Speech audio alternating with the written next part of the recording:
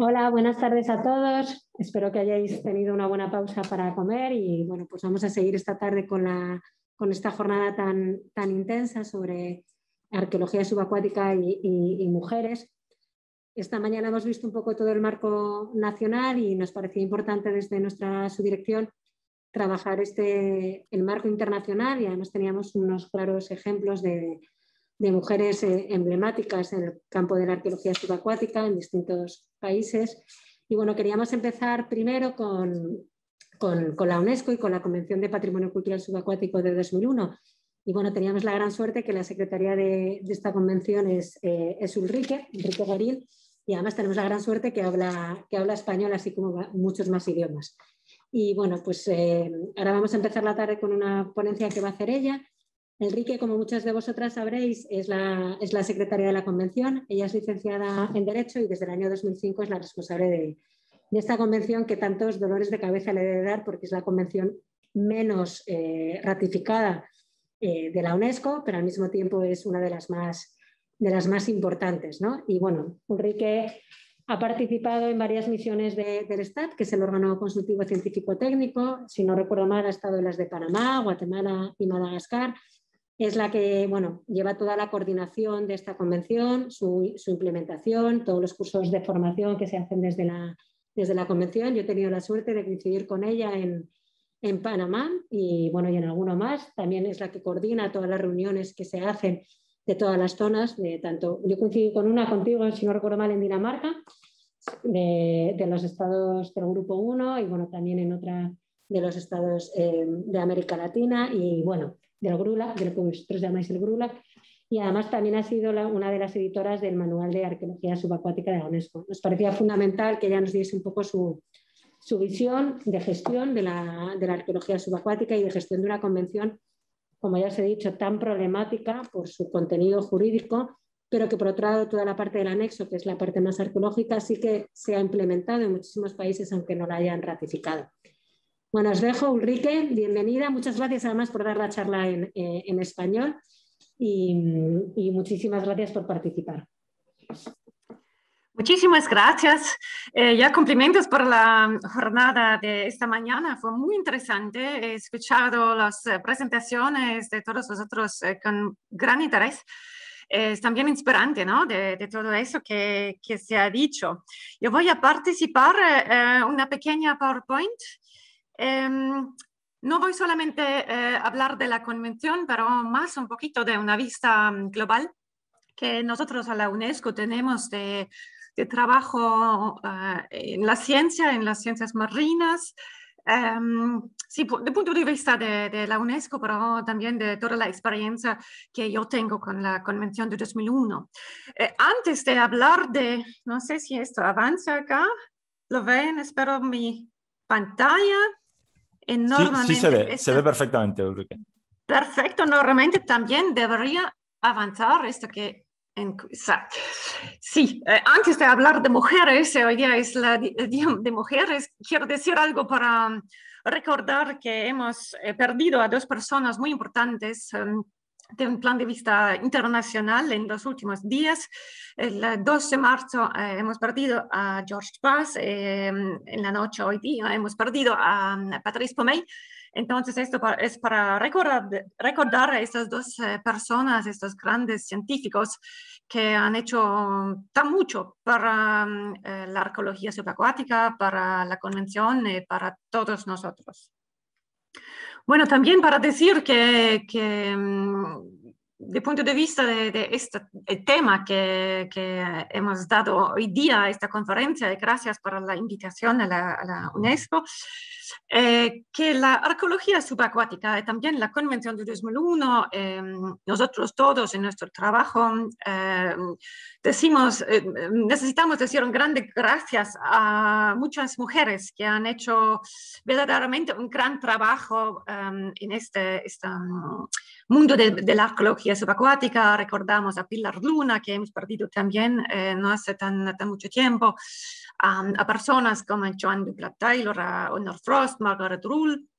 Hay un, realmente el campo de la arqueología marítima, existe una serie de mujeres prestigiosas, entonces no se puede decir que en, esta, en este tema faltan las mujeres, son verdaderamente importantes y también tenemos hoy día muchas brillantes y competentes mujeres en la arqueología subacuática, lo hemos visto también en nuestras presentaciones que han sido veramente eh, interesante, eh, eh, veramente brillante. Entonces, se puede decir que en la arqueología marítima es, puede ser un poquito mejor que en otras zonas, puede también ser en España, que, he escuchado las, las, estadísticas esta mañana, fue interesante. Em, tengo también acá algunas estadísticas de un poquito más de, de la zona um, América e Inglaterra. En la Universidad de Carolina del Este eh, se dice que se poseen 229 eh, graduados de arqueología subacuática y 40% son mujeres. La Universidad de Texas eh, A&M em, ha publicado la, la cifra de 191 graduados y 40% de estos son mujeres. La Universidad de Central en Inglaterra eh, goza de casi 350 graduados en arqueología subacuática y 55 son mujeres, por cientos, son mujeres. Em, no se puede decir eh, claramente qué es el mercado del trabajo comercial eh, después de la graduación, sin embargo, de los puestos de profesorado universitario en arqueología marítima, el 37% está ocupado por mujeres, entonces son un poquito menos que los graduados en porcentaje que ven, pero también no es nada, ¿no? Nosotros en la UNESCO esto he querido mm, un poquito hablar de este tema aquí, eh, más de que solamente hablar de la convención, Em, es el mundo de trabajo ¿no? por los arqueólogos subacuáticos que vemos nosotros en la UNESCO em, globalmente. Hemos organizado en la última ICUBA, que ya he visto y mencionado eh, en la mañana, una mesa redonda por la arqueología subacuática, fue en Australia en 2006. Eh, em, todos nos han dicho que es difícil encontrar trabajo en arqueología subacuática, que es un desafío constante para permanecer en esta línea de trabajo y no cambiar a otros temas, que los sueldos son bajos, si se compara los sueldos ¿no? con los años que se debe investir para el aprendizaje, eh, em, los estudios, eh, en comparación con otras em, em, eh, zonas de trabajo, líneas de trabajo. Ah, hay muy, muy poco escasos puestos permanentes. Esto es importante sobre todo también por las mujeres, ¿no? Hemos ya hablado en la mañana de la cuestión de tener hijos. Eh, la situación es especialmente difícil en casos de crisis, Em, como hoy día la COVID, la UNESCO ha organizado una, investigación que es la situación por los arqueólogos subacuáticos en eh, este momento, en el momento de pandemia. Lo pueden ver eh, en un pequeño film que tenemos en nuestra página web, que fueron los propuestos las palabras dicho por los eh, diferentes expertos, estudiantes, ¿no? personas que trabajan en la arqueología subacuática. Esto que vemos es, hay una baja inversión en el tema de, de arqueología subacuática, baja visibilidad por los especialistas, eh, una baja estabilidad, ¿no? En comparación de otras líneas de trabajo, eh, es difícil de hacerse arqueólogo subacuático. No sé si es verdad también por la España, ¿no? ustedes lo saben mucho mejor, pero esto lo vemos eh, en muchos países, ¿no? Nosotros trabajamos en, en, los casi 200 Estados miembros de la UNESCO hemos siempre visto que es muy difícil em, eh, encontrar trabajo y también tener el trabajo eh, eh, toda esta, esta especialidad, ¿no?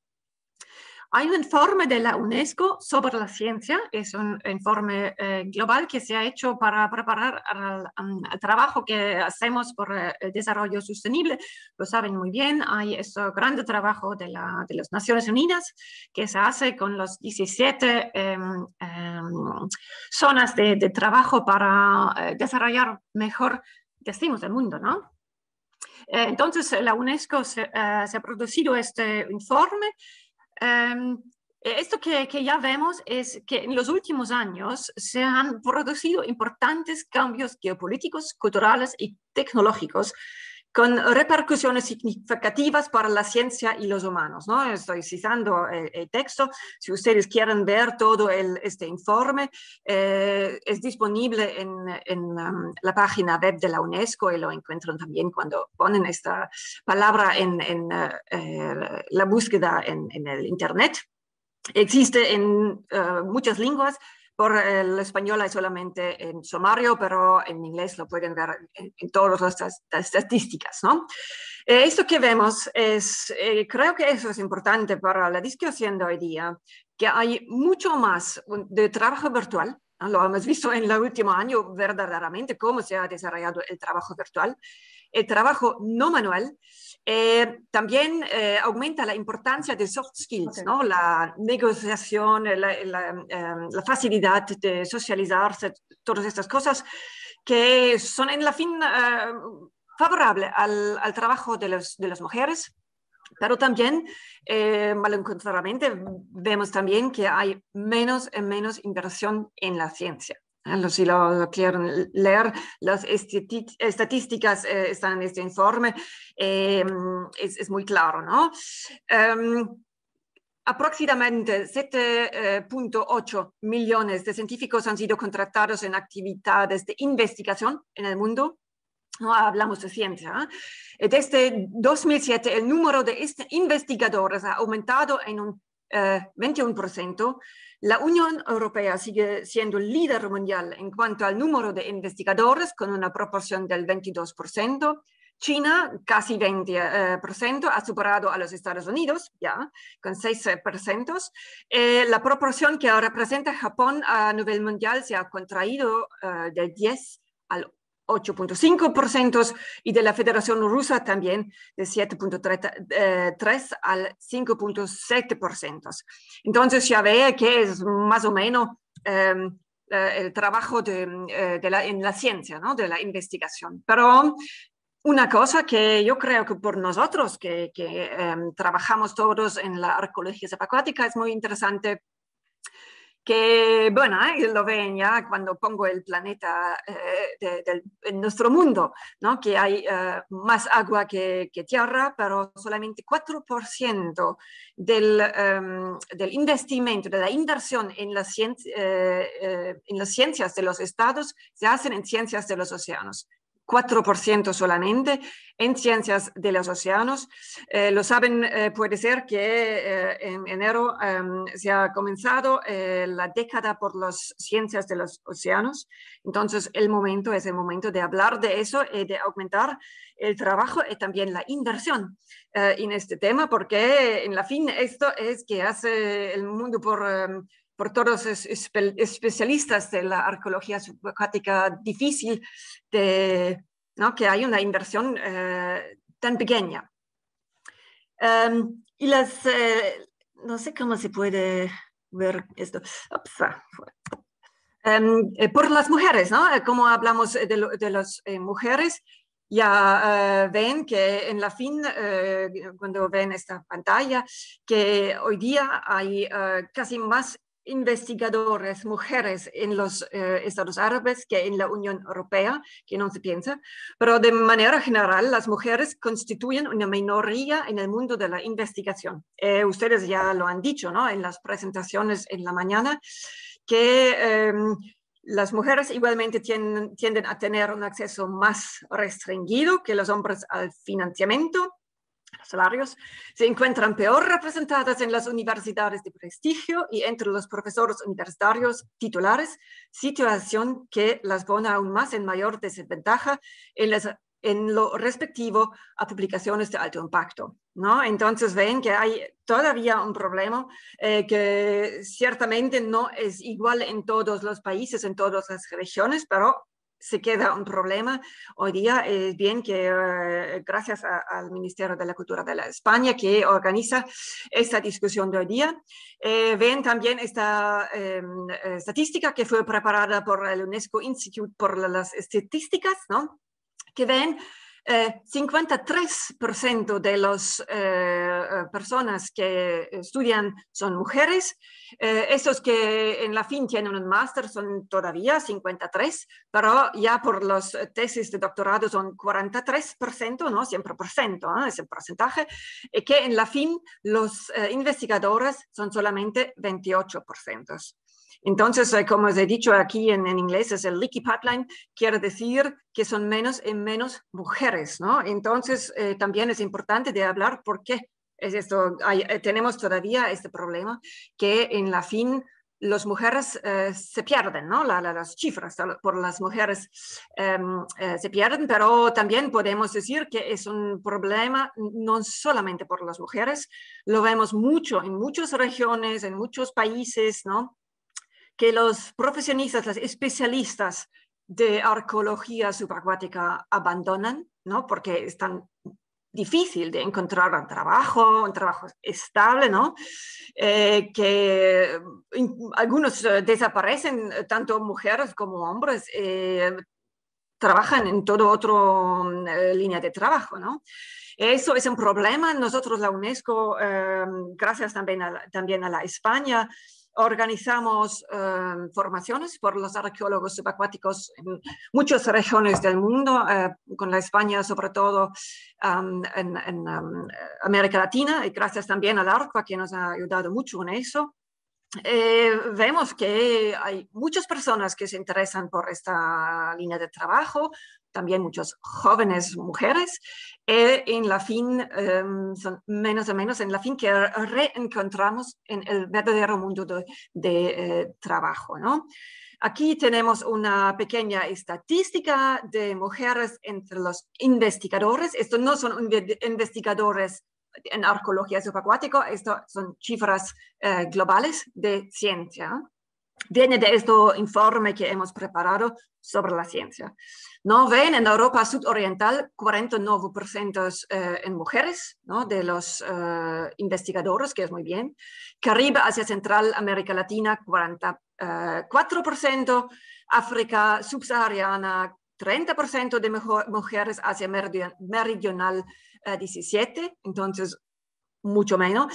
Em, Asia Sudoriental ofrece un panorama contrastado, las mujeres representan el 52% de los investigadores en Filipinas, en Tailandia, por ejemplo, pero solamente el 14% en Japón y 18 en la República de Corea. Entonces ven grandes diferencias eh, en los porcentajes de mujeres em, eh, en este, esta zona.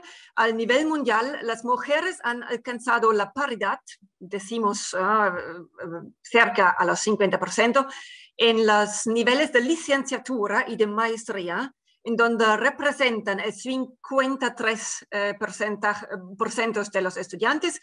En los estudios de doctorado, en cambio, no alcanzan la paridad, ya que representan solo el 43%, ¿no? ya hemos visto esto antes en esta pipeline. Eh, la brecha se amplía en el ámbito de la investigación, en el que actualmente solo representan el 28% de los investigadores. Entonces, si quieren ver todos los pequeños detalles de esas estadísticas, eh, son disponibles, ¿no? La UNESCO, como lo saben, tiene dos prioridades veramente que eh, nosotros eh, ponemos en todos nuestros proyectos. Eh, uno de estos prioridades es la paridad ¿no? de, mujeres y hombres. Eh, tenemos un compromiso ¿no? por este tema. tenemos también programas que son verdaderamente por eso. también en, en, el trabajo de la Convención de 2001 tenemos esto como una, un trabajo de prioridad de dar una, una igualdad a los dos mujeres y hombres. Tenemos un programa eh, For Women in Science, se llama eh, así en inglés. Es un programa pionero para la promoción de la mujer en la ciencia. Tenemos también un premio de la Fundación Elsevier, un programa Fortalecimiento de las redes de mujeres científicas en todo el mundo y un premio UNESCO L'Oréal que también hace una grande campaña de promoción para la paridad. También es importante e interesante, puede ser también por los participantes eh, que son profesores o estudiantes o trabajan en el mundo académico, que también tenemos bolsas ¿no? para la paridad, eh, que es posible em, de encontrar estas bolsas a la UNESCO y también puede ser una interesante idea de proponer una arqueóloga em, subacuática por este premio, ¿no? por Women in Science, sería una idea interesante.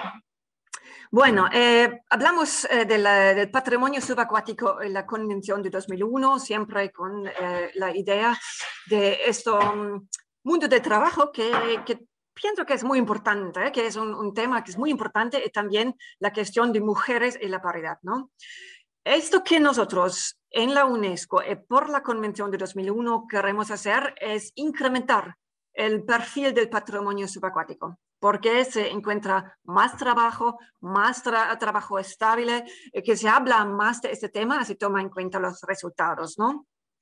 Nosotros hacemos un trabajo para introducir el patrimonio uh, subacuático en las ciencias eh, oceánicas, en el diseño de las Naciones Unidas, que en este momento comenta sobre la ciencia oceánica, en el trabajo del ODS 14, ¿no? Esos son océanos, océanos ¿no? Em, obtener condiciones de trabajo estables y en acuerdo, eh, acuerdo, con los mejores estándares es muy importante y también es importante que esto se hace como un trabajo em, eh, global. Y también por eso la cooperación internacional, eh, la ayuda de, por ejemplo, de la España a países latinoamericanos, como se ha hecho en los últimos años, es verdaderamente muy importante. Eh, pienso que solamente si todos trabajan juntas, eh, trabajan también sobre un nivel internacional eh, en los foros internacionales, se puede aumentar la inversión y el reconocimiento de la arqueología subacuática, ¿no?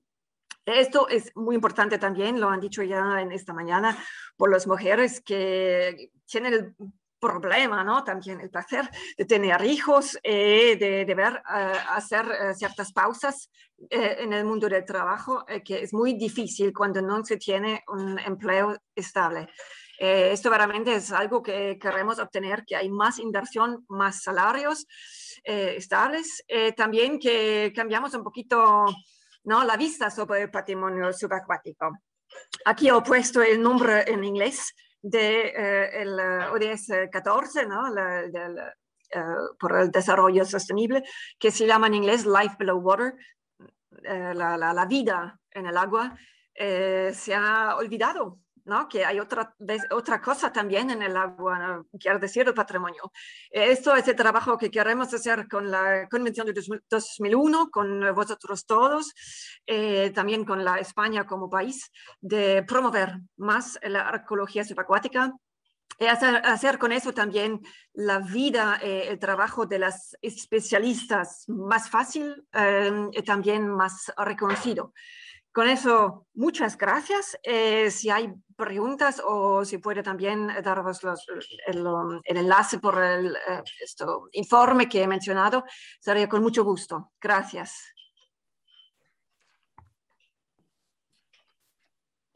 Muchas gracias, eh, por tu presentación. Gracias, además, mm, por esa visión más, más global, más de, de la ciencia, que es tan importante, ¿no? De lo que es la investigación con esos datos que bueno, que es verdad que las mujeres estudian, pero llegado un momento, pues eh, parece que paran ¿no? ese nivel de formación y de investigación. Y luego ya también esos datos tan importantes de la convención y cómo conseguir que la convención cada vez tenga más relevancia, sea más fuerte y de esa manera, bueno, pues yo creo que la arqueología subacuática será más visible y habrá más trabajo relacionado con el mundo de la arqueología subacuática que hará que haya más mujeres que participen. Como tú has dicho, con un trabajo estable las mujeres suelen eh, buscar esa, estabilidad laboral. ¿no? Entonces, bueno, si conseguimos a través de la convención y en nuestros países que la arqueología subacuática tenga más fuerza, pues yo creo que eso también contribuirá a, una mejor calidad de los trabajos. ¿no?